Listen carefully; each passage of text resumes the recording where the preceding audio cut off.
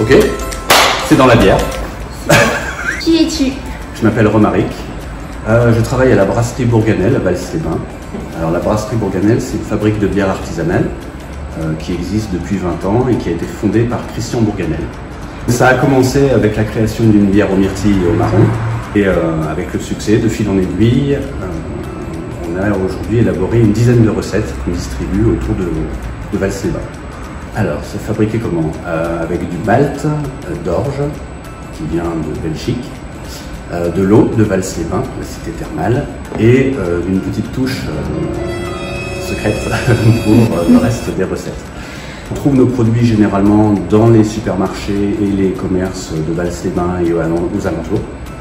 Et depuis peu, au niveau national, depuis un an maintenant, dans les Lidl de France, certains en tout cas, pas tous, parce qu'on est une petite brasserie.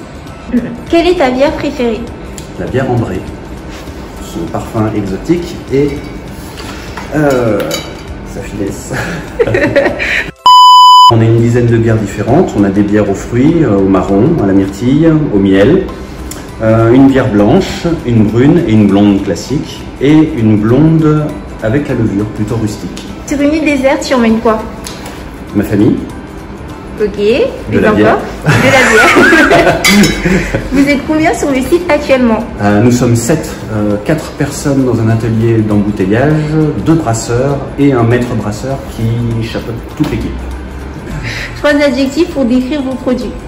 Euh, trois adjectifs. Euh, rafraîchissante, pétillante et méconnue.